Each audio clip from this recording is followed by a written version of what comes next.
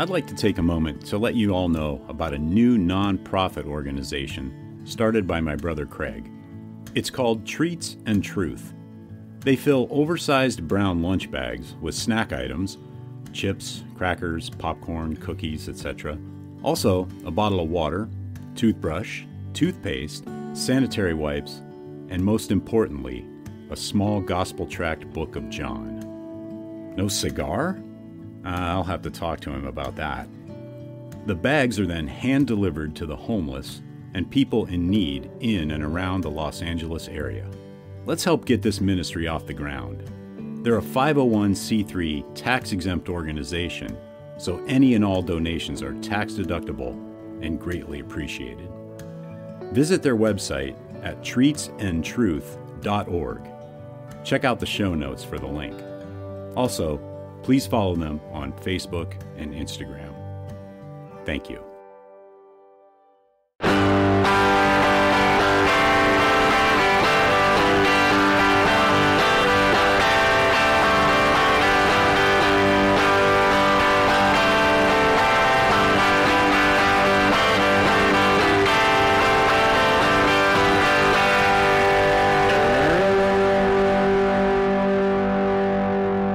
To episode 80 of the Burning Bush podcast, where we share the message of the Bible while enjoying a good cigar. Hope you're doing well and glad you've joined me today. This week, we continue reading through Dr. Justin Bass's book, The Bedrock of Christianity The Unalterable Facts of Jesus' Death and Resurrection. And I'm smoking the Avo Classic number three in the seven and a half, or in, yeah, the seven and a half by 50 size. And as often happens, their website doesn't have much detail about the cigar, so let's go over to Cigars International and see what they have to say.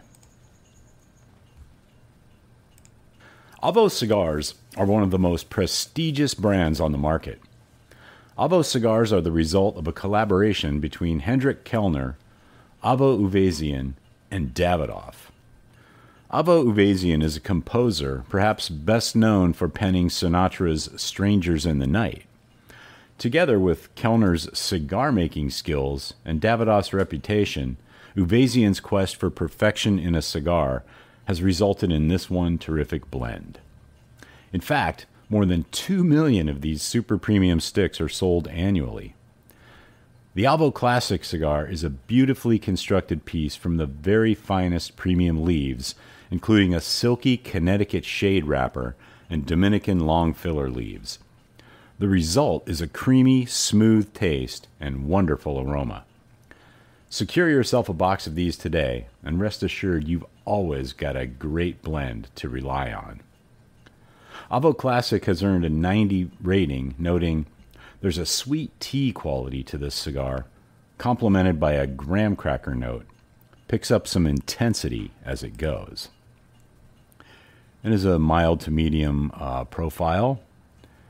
Wrapper is Connecticut, Ecuador, Connecticut, and Ecuador sun grown. Binder and filler are both Dominican. And the Vitolas are the number 9, 4.7 by 48. The Robusto, 5 by 50. The number 5, 6.9 by 46. The number 2, 6 by 50.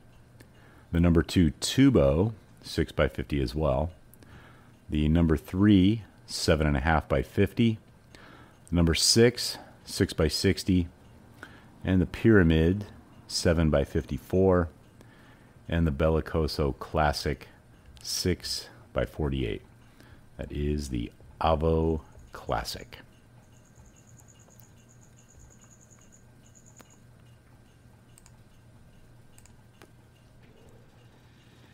So let's go ahead and get back into this week's reading of Dr. Justin Bass's book, The Bedrock of Christianity. And the title of this week's section is The 500. The creedal tradition attests after that he appeared to more than 500 brethren at one time, and Paul probably added these words to the tradition, most of whom remain until now, but some have fallen asleep. 1 Corinthians 15 6. In John Wesley's commentary on the New Testament, his note on this appearance says, A glorious and incontestable proof. The greater part remain alive. If this if true, this is indeed a glorious proof. If you did not know where this resurrection appearance was found, you might very well believe it must be legendary. Over 500 men and women at one time believed they saw the risen Jesus. This is too good to be true.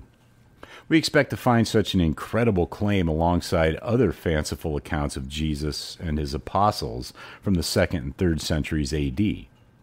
In the second century, the Gospel of Peter, for example, has a clearly legendary account of Jesus' resurrection.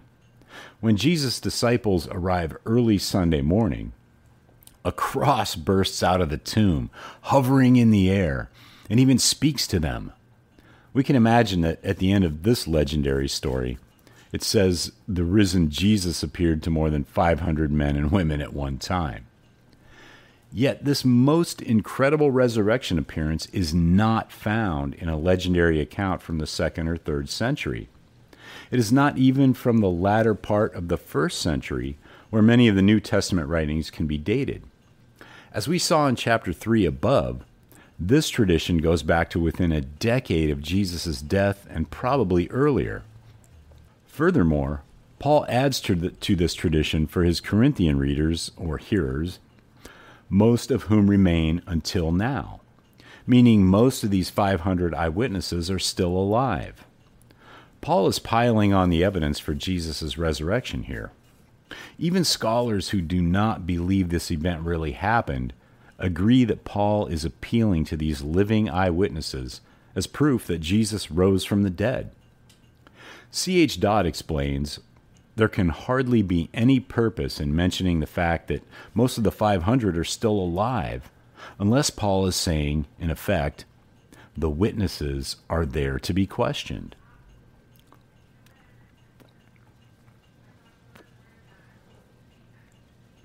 Paul is, in a sense, saying to the Corinthians in the mid 50s AD go on your next holiday to Galilee or Jerusalem and meet some of these eyewitnesses. They will tell you what it was like to see the risen Jesus. We see other ancient historians using the same kind of argument Paul is using here. Josephus argues at one point the truthfulness of accounts of his own life because even over two decades later, people are still alive who can either prove what I say to be false or can attest that it is true. Antiquities 20.266. Paul is also writing this letter to the Corinthians roughly two decades after Jesus' resurrection appearances, including the appearances to more than 500. Paul and Josephus are both making appeals to living eyewitnesses who can attest that this it's true.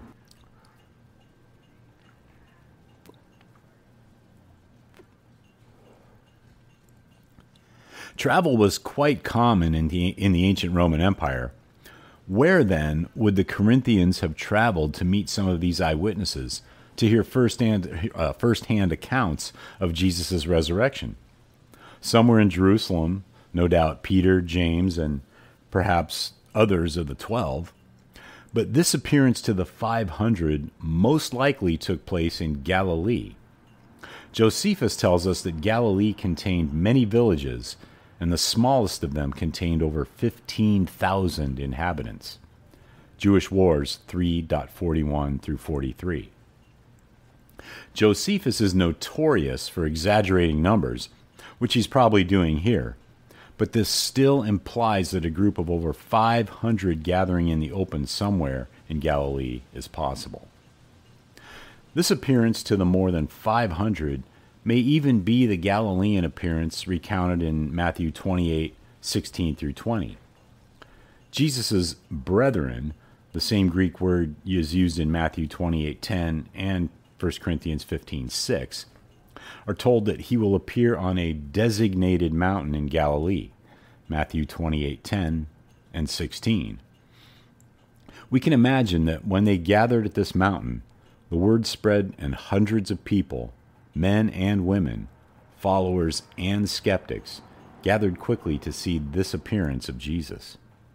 Incredibly, Matthew even testifies that some were doubtful. Matthew 28:17, which implies a larger gathering than Jesus' 11 followers.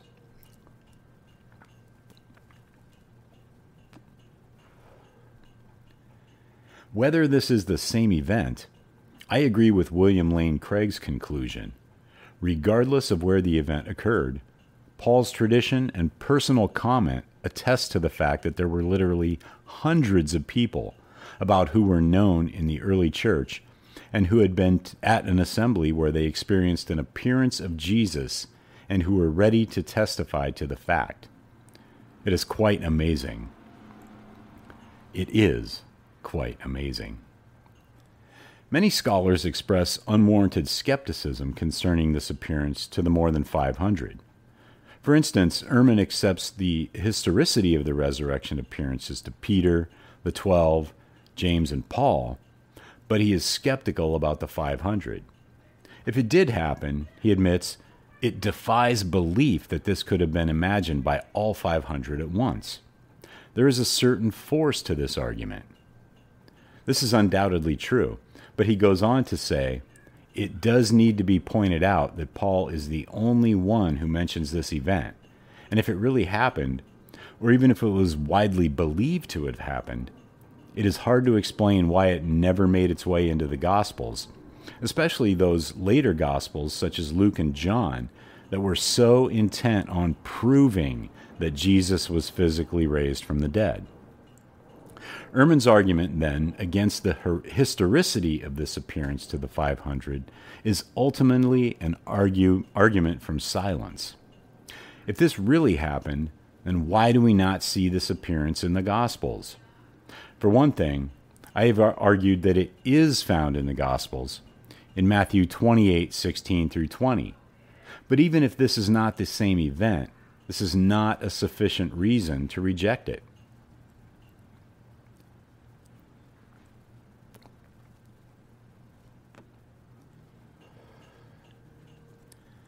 We have already seen the incredible restraint of the authors of the Gospels.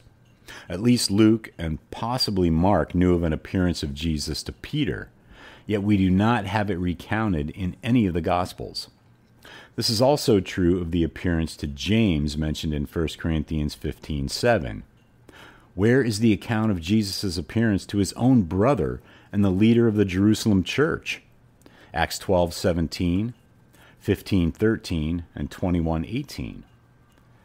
If the gospels are silent concerning the resurrection appearances to Peter and James, two appearances Ehrman accepts, why then not accept the historicity of the appearance to the 500? Another argument Ehrman puts forward is that when Paul received it, it was already legend, that is, made up.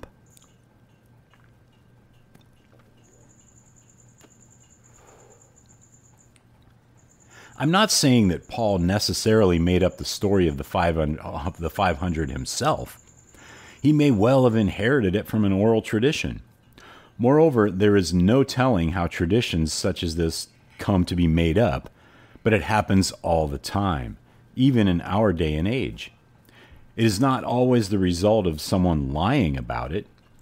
Sometimes stories just get exaggerated or invented. But this argument ignores how early this story was being circulated. Sometime during the 30s AD, no later than a decade after Jesus' death. This was a period when surely such an incredible claim could have been checked and, if needed, refuted. In fact, we see, that, we see this type of apostolic oversight when, for example, Peter and John travel to oversee the Samaritans who have received the gospel Acts 8. Moreover, Paul mentions eyewitnesses among the 500 that are still alive. It is reasonable to assume Paul himself had met some of them when he went to Jerusalem on his first AD 37 or second AD 46 to 47 visits. How else would he know that some of them were still alive? With his reputation on the line with the church in Corinth, it seems doubtful that Paul would have appealed to such hearsay. Through Paul's travels among the earliest Christians in the 30s and 40s AD, he was in a position to investigate such extraordinary claims and the living eyewitnesses themselves.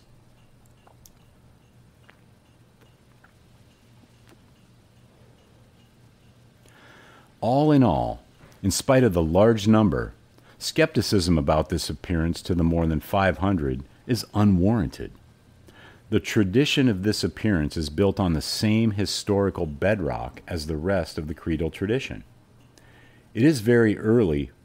Paul appeals to those eyewitnesses who are still alive.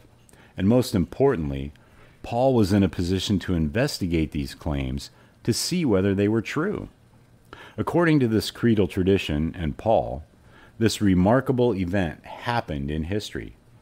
At a gathering, possibly in Galilee, more than 500 men and women believed they saw the risen Jesus.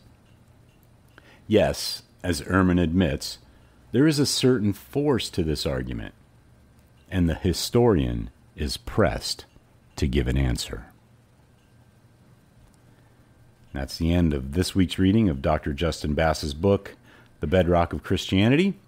Be sure to check out the show notes for links to Dr. Bass's website as well as this week's cigar. Also, in the show notes are links to Treats and Truth Ministry, where you can get involved in helping to spread the gospel to and being a blessing to the homeless.